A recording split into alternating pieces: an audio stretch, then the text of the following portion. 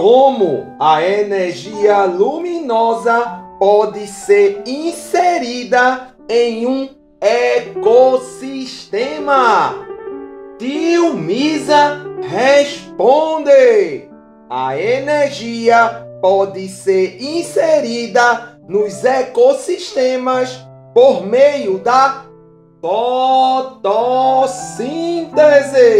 Assim, os organismos autótrofos fotossintetizantes são essenciais nesse processo.